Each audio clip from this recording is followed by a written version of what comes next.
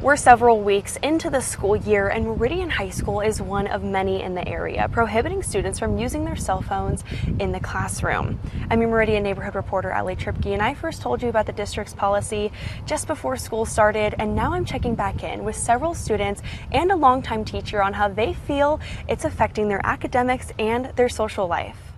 And just in six weeks, I have noticed I have talked to more people than I have all of my years in high schools. Meridian High School seniors Athena Little, Elena Cottrell, and Kara Vink sharing with me the impact of unplugging from their cell phones during class. I know my first thoughts were, why couldn't I wait one more year, like till after I graduate? Cottrell says her and some students were worried about how the policy would play out, but weeks into the school year, so far so good. I think that it's been really nice to have like a set time in my day where I'm not on my phone and so that like helps me with like breaking those like bad habits. Relief from notifications allowing more time to focus on what they can learn next and building community within their classes. What i've noticed is that kids are more eager to learn. They're paying attention. Before the district-wide policy each classroom might have had conflicting expectations for students. Just kind of turn your head to it a little bit because you, there was nothing you were going to be able to do about it. And now so that's why this year is so much different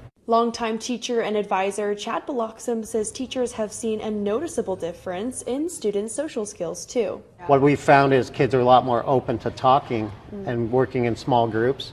So that has been great. Preparing for life in a digital world, West Ada students still have technology at their fingertips in the classroom and at home on their student laptops. What we find is that there's a lot of tools out there that they can use on the on the internet mm-hmm. where they don't even need their phone. West Ada School District has actually put up a thing. Um, it's called GoGuardian, and it provides like an extra layer of safety and blocks a lot of stuff. I asked the three students what their parents thought of the policy, and they told me their parents are on board with less phone screen time. And when it comes to emergency communication with family, faculty is confident in the district's plan and outreach. With less distraction in their last year of high school, Athena, Elena, and Kara tell me they're excited for student body events, activities like marching band, and of course, rivalry games. Stinky Sneaker is awesome every year, so.